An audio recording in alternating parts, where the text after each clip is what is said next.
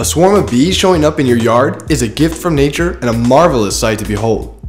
Bees pollinate over 120 of our food crops, as well as alfalfa, which is highly used to feed dairy cows, horses, beef cattle, sheep, chickens, turkeys, and other farm animals.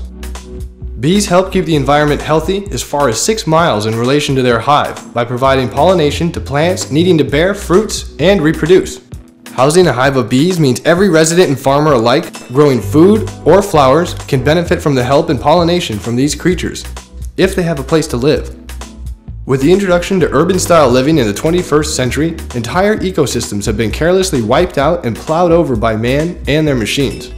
Wild animals have been forced out of their habitats, while the land has been torn up to build homes for human occupation, giving no thought in return about the wildlife which resided there before them.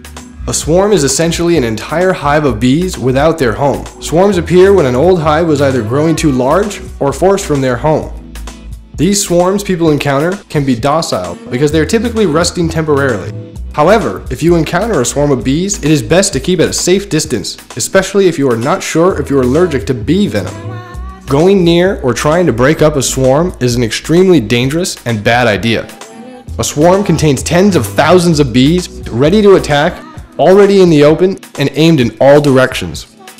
If you encounter a swarm of bees, call a local beekeeper or bee service removal who will remove the bees without causing harm by using toxic chemicals. With bees disappearing from hives all over the world and colony collapse disorder affecting more and more hives worldwide, humans need every bee population up and running and healthy and strong if we plan to continue to eat a variety of foods.